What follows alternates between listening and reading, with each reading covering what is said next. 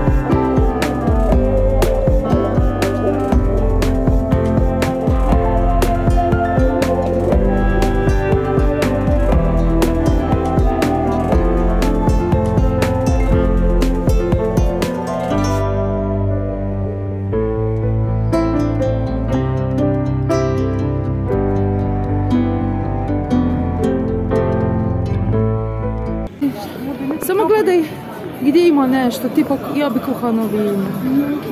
Cinkine fritule, i ovdje kuhani čaj,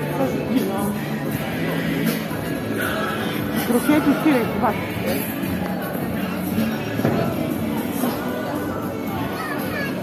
Rekli su da je hit taj kuhani džin.